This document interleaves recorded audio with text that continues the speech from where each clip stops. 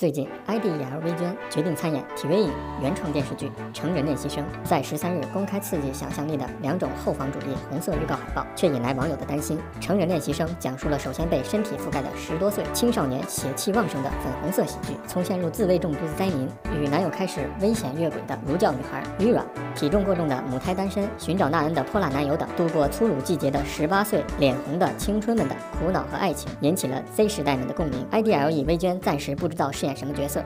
不过网友们觉得让爱豆出演这种题材的电视剧非常不适应，特别是网友担心薇娟出演后会遭受到性骚扰留言，所以网友对于薇娟出演这个电视剧持反对声音。不过也有网友表示，只是演戏而已，只要制作组把那些场面好好处理，根本不是问题，没有必要大惊小怪。总之，虽然有些人认为这种类型的电视剧可能与广受欢迎的 Netflix 节目性教育相似，但大多数人还是担心她作为女性偶像出演并不妥当的态度，并批评 Cup 娱乐。网友表示。这不是十九禁，应该就是单纯谈论青少年的性问题。所以你们为什么要为保守而大惊小怪？他们不会有性爱场面。我认为是时候发布一些可以性教育的东西了。还有网友表示，如果薇娟不想拍，公司就不能强迫她，她大概是有自己的想法选择了。为什么总有人责怪公司？当学校欺凌事件出现时，他们也指责公司。也有网友表示担忧，如果年轻的青少年们模仿她，会不会成为一个问题？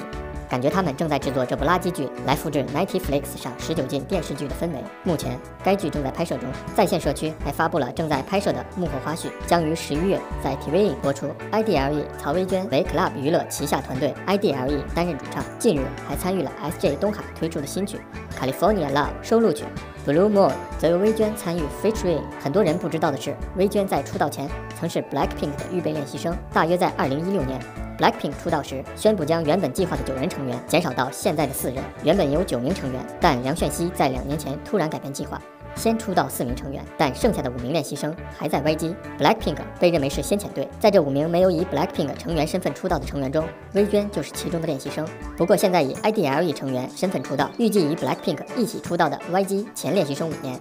在 Cover Entertainment 旗下，IDL 已出道。薇娟和过去 Blackpink 成员的照片也被曝光过，能看出他们的关系也相当亲密。尽管她没有与 Blackpink 出道的原因目前还不清楚，有传言说她曾经和 Max March 的郑振熙一起去日本被发现，然后被要求离开了。但不过薇娟与 Blackpink 成员一直保持着良好的关系。之前她在广播节目中透露，她出道时还收到了他们的祝贺短信。不过现在作为 IDLE 成员出道的她也很不错。对此，大家对薇娟出演的这部电视剧有什么看法吗？